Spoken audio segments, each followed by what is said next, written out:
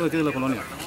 Eh, 59. Tiene aproximadamente como 15 días que se acaba de cambiar. No, no lo ubican muy bien los vecinos de aquí del lugar. Calibre 9 milímetros y uno de 38. Antes únicamente indican los vecinos y personas que aprecian los hechos, de cuatro, de tres a cuatro personas, blanco o gris. De, refieren, hicieron las eh, detonaciones de, a bordo del vehículo. No, no, no, no. Thank.